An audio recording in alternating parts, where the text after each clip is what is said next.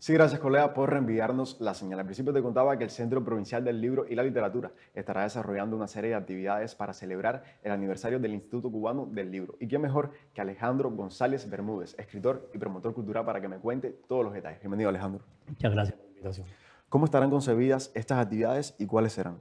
Eh, hay que recordar que esta institución se fundó el 27 de abril del año 1967, de, de manera que estaremos celebrando el 57 eh, aniversario de, su fundación. Entonces, como parte de las actividades que en Camagüey vamos a estar mm, desarrollando para celebrar este mm, aniversario, podemos, mm, puedo decirte que ya comenzamos con la celebración el pasado 21 de marzo del Día Mundial de la Poesía y un recital eh, de eh, poetas que dedicaron sus lecturas a esta fecha comenzaron ya las actividades que vamos a estar desarrollando justamente hasta el mismo día 27 de abril.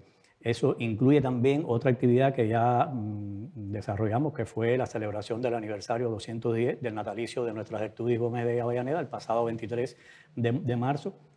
Incluye además eh, actividades por el 31 de marzo, Día del Libro eh, Cubano, en abril, eh, los primeros días, el 2 de abril, vamos a, estar celebrando también el Día de la Literatura para los Niños. Hay jornadas también que tienen que ver con la UJC, con Girón. Y vamos eh, además a estar haciendo la presentación especial del libro La arcilla luminosa de Roberto Manzano, que consideramos que es la antología poética más importante que se ha hecho después del año 1959 en Camagüey. Y vamos a cerrar el propio día 27, además, con la premiación del concurso, de la cuarta edición del, concurso Premio de Poesía Aniversario del ICL para autores mm, camagüeyanos que son absolutamente inéditos. Eso es a grandes rasgos las principales actividades que vamos a estar desarrollando en saludo al 57 aniversario del Instituto.